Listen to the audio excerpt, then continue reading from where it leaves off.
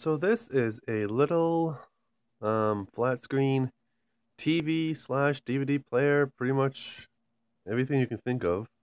Um, I picked it up at Goodwill the other day, and it's got a clock on the front, which is the wrong time.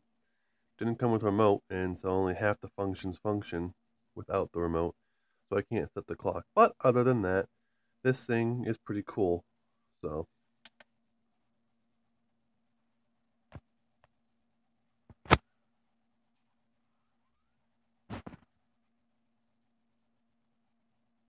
Right now I don't have a disc in the tray.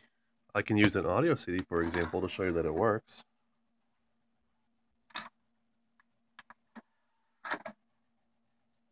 Uh, excuse me.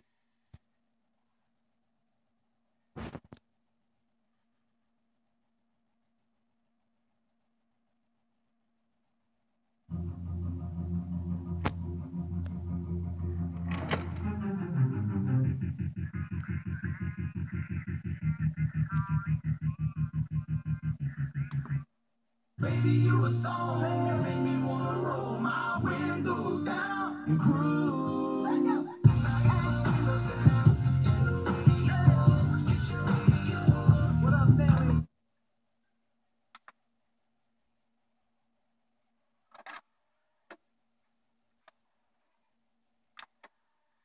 And we also have a USB spot on the front and an SD card slot. He's going to read from the USB right now. There's no disk in it. You can play music, view pictures, and watch movies. Although the only the only um, file types I've seen that work with video so far is MP, MPG and fuck, what was the other one? Uh, I can't remember, but it doesn't do AVI or MP4 or WMV. Anyway, here is the SD card slot. I don't think it's going to read from it because the USB is in, but it takes the SD card and USB, as well as your DVD.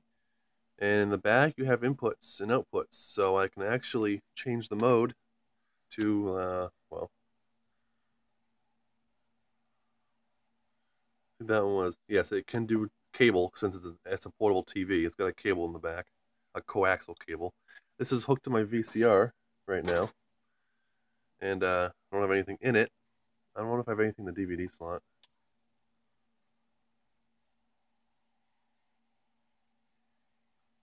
Let's find out. Yes, I do. Shit, that's a lot louder. All right. So, anyway, I got my VCR hooked to that, and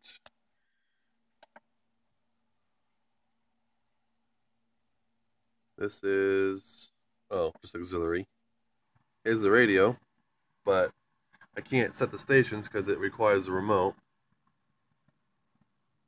But I can all I can do is cycle through presets that someone had. But it gets nothing. Plus, there's no antenna on it, on it either. So,